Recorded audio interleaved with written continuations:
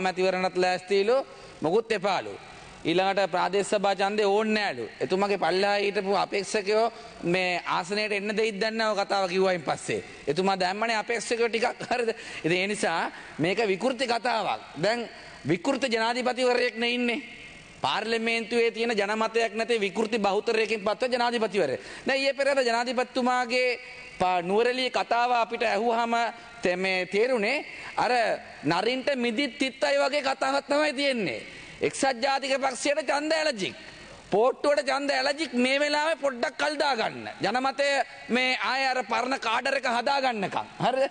ඒ නිසා දැන් ඒගොල්ලොන්ට අපේක්ෂකව නෑ කියලා. ඒගොල්ලොන්ට ජනමතය නෑ කියලා ඉවරලා. අපි මොනවද කරන්නේ? අපි මහජනතාවගේ ඡන්දයෙන් පත්වෙච්ච മന്ത്രിවරු ඊළඟ පාරත් එන්නේ මහජනතාවගේ ඡන්දයෙන්. අපි ආණ්ඩු පිටවන්නේත් මහජනතාවගේ ඡන්දයෙන්. අපි ජාතික රජිස්ට්‍රේෂන් ඇවිල්ලත් නැහැ පිනට മന്ത്രിකම් අරගෙනත් නැහැ. හැබැයි ගරු මුලාසනේ മന്ത്രിතුමනි මේ කතාව නුවරඑළදී කරන්නේ එතුමා විනිශ්චකාරවරු ඉදිරියේදී. මේක සම්පූර්ණ වැරදි වැඩක්. සම්පූර්ණ වැරදි වැඩක්. මොකද හේතුව ජනාධිපතිවරයා මුදල් ඇමතිවරයා හැටියට උසාවි නියෝගයකින් ඡන්දය තියන්න කියලා තියෙද්දි සල්ලි දෙන්නේ නැතුව මේ ඡන්ද කල් දාපු පුද්ගලෙක් ඒ නඩු තාම උසාවි විභාග වෙනවා. එතකොට ඒ විනිශ්චයකාරු ඉස්සරහා තමයි මේ ඡන්ද නැහැ කියන්නේ. දැන් ඉස්සෙල්ලා මෙච්චර දවස් කිව්වේ මොකද්ද? ජාතික ආරක්ෂාව ජාතික ආරක්ෂාව. දැන් අලුත් වචනයක් අල්ලන් ඉන්නවා. ආර්ථික ස්ථාවරභාවය. හැදෙනකන් ඡන්ද තියන්නේ නැහැ. දැන් ජනාධිපතිතුමා කියන විදිහට ආර්ථික ස්ථාවරභාවය හැදෙන්නේ 2048 දී. දැන් එතුමට අවුරුදු 74යි. එතකොට එතුමට 99 වෙනකන් ඔය පුටුවේ ඉඳලා තමයි ඡන්ද තියන්න ඕනේ කියලා කියන්නේ. මාර වැඩක් නේ. නියෝජිත ප්‍රජාතන්ත්‍රවාදය පිළිගන්න අපි එක්සත් ජාතික පක්ෂයේ ඉඳද්දි අපිට ප්‍රජාතන්ත්‍රවාදයේ වටිනාකම කියන්නේ මොකද්ද? ලෝකයා ප්‍රජාතන්ත්‍රවාදයට ලබා දෙන වටිනාකම මොකද්ද? එතකොට ලෝකයා එක්ක එකට තමයි යා යුත්තේ දූපත් මානසිකත්වයෙන් මේ රට ගොඩ දාන්න බෑ කියලා අපිට ඉගැන්නුවේ ජනාධිපතිතුමා. දැන් මට වීඩියෝ එකක් දාන්න පුළුවන් නම් දාන්න පුළුවන් මම මේ එන ගමන් ජනාධිපතිතුමාගේ ඒ කාලේ වීඩියෝ එකක් බල බල හිටියා. හරිද? ආයවැයන් සහන දෙන්නේ නැත්නම් ලබන අවුරුද්දේ පාරට බස්සනවා. සහන දෙන්නේ නැත්නම් ජූලි මාසේ පාරට බස්සනවා. හරිද?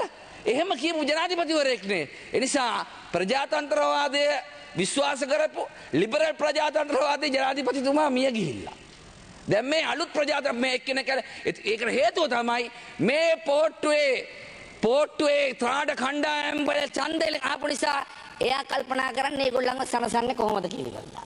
ඒ නිසා අපි පැහැදිලිව කියන්න කැමති දැන් මේ පෙර മന്ത്രിතුමා කිව්වා මේ ප්‍රාදේශ සභා ඡන්දය ඕනේ නැහැ කියලා. අද මොකද වෙලා තියෙන්නේ මේ ඡන්ද කල් දාලා? අද ප්‍රාදේශ සභා නිලධාරීවාදයට රැත් වෙලා තියෙනවා. ඩෙන්ගු වදුරෙන් ජනතාව පීඩාවට පත් වෙලා තියෙනවා. හරිද? දැන් අපේ ආසනවල ඩෙන්ගු විශාල වශයෙන් තියෙනවා. ඇයි? ජනතාවට වක් කියන මහජන නියෝජිතයෙක් හිටියනම් ඌ කොහොම හරි මදුරුවන්ට තෙල් ටික දුන් ටික ගස්සලා ඔබතුමා මූලාසනේ මන්ත්‍රීතුමා නගරාධිපතිවරයෙක් වශයෙන් කටයුතු කරා. ඔබතුමා දන්නවා ගමේ ඩෙන්ගු ප්‍රශ්නාව කොහොමද කරන්න කියලා ඉවරලා. ප්‍රාදේශ සභාවේ නගර සභාව මන්ත්‍රීගේ ඒ සම්බන්ධව තියෙන උනන්දුව කොහොමද කියලා මට වැඩි හොඳට ඔබතුමා දන්නවා. හරිද? අද ජනතාවට වක් කියන මන්ත්‍රී කෙනෙක් නැහැ නිලධාරීන් මාස් පඩියට වැඩ කරන කට්ටිය ඉන්නේ. දැන් ඒකට පලාත් මේ මේ ප්‍රාදේශීය සම්බන්ධීකරණ කමිටුවේ සභාපතිගේ හෙංචයියක් දාන්න හදනවා. මැතිවරණ කොමිසම මේකට විරුද්ධයි. මෙහෙම කොහොම මෙහෙම කොහොමද රටක් දුවන්නේ? දාද ප්‍රාදේශීය සභාවට සම්බන්ධීකර කමිටුවේ සභාපතිගේ හෙංචයියක් දාන්න හදනවා. එතකොට මැතිවරණ කොමිසම කියනවා මේක නීති විරෝධී කියලා. එතකොට ප්‍රාදේශීය සභා පාලනය වෙන නිලධාරීන්ගේ මහජන නියෝජිත නැහැ. පළාත් සභාව ලංකාවේ ඉස්කෝලවලින් 90ක් අයිති පළාත් සභාවලට.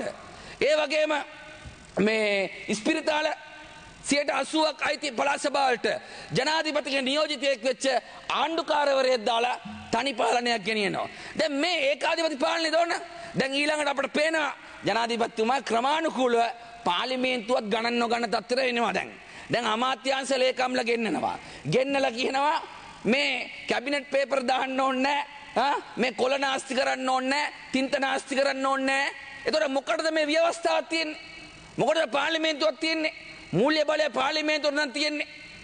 ඒ බලය පාර්ලිමේන්තුව ලබා නොදෙන්නේ ඇයි? ඒ නිසා මේවා වෙද්දී මුලාසනය ගරු මන්ත්‍රීතුමනි මේ ඡන්ද කල් දාන්නේ අපි අහනවා මොන වගේ පාලනයක් ගේනද කියලා දැන් ඉස්සෙල්ලාම ගේන්න හැදුවා මේ පුනරුත්ථාපන ප්‍රතිසංස්කරණ පනත කියලා මිනිස්සුන්ගේ භාෂණය නිදහස කතා කිරීමේ නිදහස පාලනය කරන්න මම උසාවි ගියා යන්තම් උපරිම මේ ශ්‍රේෂ්ඨාධිකරණයෙන් තීන්දුවක් ලැබිලා අකුල ගන්න වුණා. ඊට පස්සේ මොකද ත්‍රස්ත විරෝධී පනතක් ගෙනාවා. ඒකත් අකුල ගන්න වුණා. ඊට පස්සේ මහා බැංකු පනත ගෙනාවා. ඒකත් අකුල ගන්න වුණා. ඊළඟට දැන් අර මූලාසන මන්ත්‍රීතුමනි ඡන්ද කල්දදා කරන වැඩේ මම කියන්නම්. ඊළඟට දූෂණ විරෝධී පනත ගෙනල්ලා අපි ලංකාවේ හොරකම් නවත්තන්න හදනවා කියලා ලොකු ප්‍රචාරයක් දුන්නා. අන්න අද උසාවියෙන් තීන්දුවක් දීලා තිනවා. හැබැයි ඒ දූෂණ විරෝධී පනතේ ජනතාව අරගල කරේ ඇයි? පෞගිය කාලේ හොරකම් කරපුව ගන්න කියනවා. පෞගී කාලෙ ටික නෑ. අනාගතය දේවල් වලට. අනාගතය ගැන කියනක හොඳයි. හැබැයි ජනතාව මේ තත්වර පත් කරපු රට බංකොලොත් කරපු හොර ජනතාවගේ බදු මුදල් හොරාකාපු දේපල හොරාකාපු ඒ දේශපාලක්ඥන සහ නිලධාරීන්ව අල්ලන්න කියලා ජනතාව කියන. හැබැයි ජනාධිපතිතුමා ඒ පනතරහා රාජපක්ෂ කණ්ඩායමේ හොර නඩය ආරක්ෂා කිරීමේ රැකවලා බවට පත්වනවා කියන එක තමයි මට නම් කියන්න තියෙන්නේ. ඒකම මුලාසිරේ මන්ත්‍රීතුමනි මෙන්න මංගාව තියෙනවා දැන් මේ ඡන්ද කල් දාලා මහජන නියෝජිත ඕනේ නැහැ කියලා ඉවරලා මේ දවස්වල ආණ්ඩුවේ කට්ටිය කරන ඩීල් එකක් මං කියන්නම්. හන්තානෙන් අක්කර 33ක් දීලා තියෙනවා. හෝම්ලෑන්ඩ් කියන සමාගමට දීලා තියෙන්නේ. හරිද? මේ අක්කර 25ක්. පර්ච් එක රුපියල් 33 ගාණ දීලා තියෙන්නේ. මෙන්න ලියුම් ටික තියෙනවා. හරිද? මේකේ වාණිජ වටිනාකම රුපියල් මිලියන 1760යි. එක් ලක්ෂ ගානකට දීලා තියෙන්නේ. කවුද මේක පිටිපස්සේ ඉන්නේ? හොයලා බලන්න. මේක අස්සම් කරේ මේ එග්‍රීමන්ට් එක 2020 ජූලි මාසේ අස්සම් කරලා තියෙන්නේ. හරිද? මෙන්න ලියුම් ටික LRC එකට යවපු. ඊළඟට දැන් කටානේ ඉඹුල්ගස් වාඩි කියන ප්‍රදේශයේ LRC එකට අයිති අක්කර 25ක්. අන්න ආයේ දැන් යනවා වැඩේ බෙදෙනවා. මේකේ ඇමතිලා කීප දෙනෙකුටත් අක්කර දෙක තුන දාන තියනවලු. ගන්න මිනිහට තියෙන ඉඩමෙන් භාගයයි අන්තිමට. හරිද?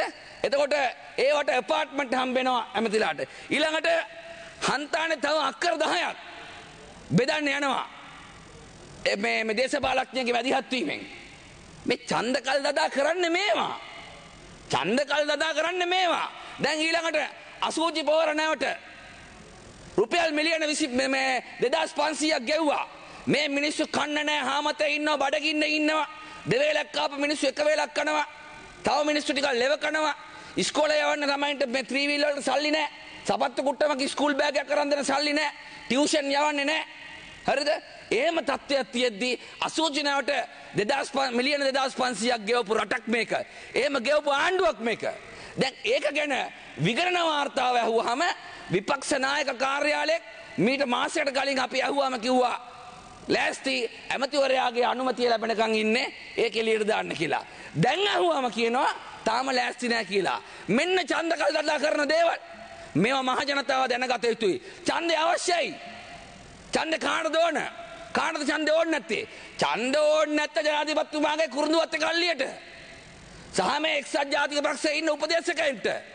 සහ ඡන්දට බය පෝට්ටුවෙත් පළවෙනි වතාවට ආපු සමහර මන්ත්‍රීලට හැමෝටම නෙමෙයි. ඊළඟ පාර දිරන්න බැරි ඇත බය ඡන්දවලට.